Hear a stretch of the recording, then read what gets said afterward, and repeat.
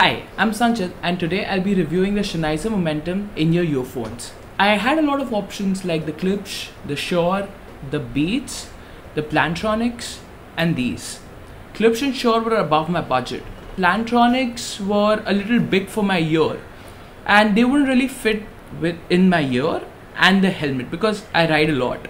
So after I bought this, I found out that the earphones come in this cover this cover is a very premium looking cover. It has a very nice zip which i don't think will go bad.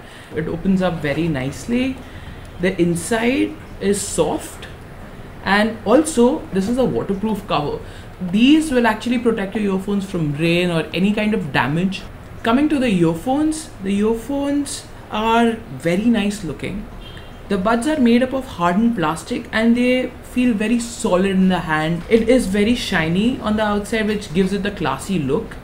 On the back you have the Sennheiser logo and here you have the hook.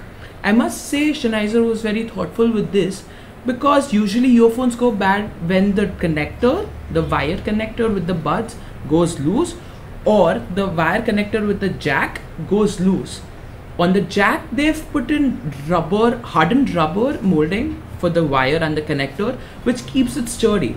And here, this hook takes all the impact or all the pull. The volume rockers are very nicely placed on the right hand side. The volume up button is sloping upwards, whereas the volume down button is sloping downwards.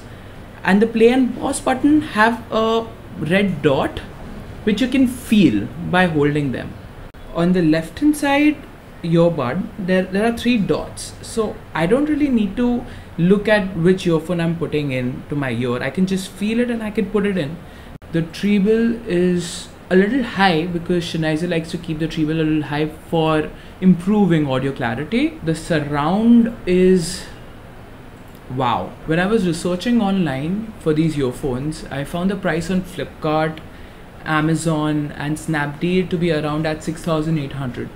When I went to Alfa Irla Parla West, I found the price to be 5800 where I bought the earphones from. And it's a phenomenal price difference. So if you want to buy the earphones, I would suggest you rather go to Alfa than buy it online.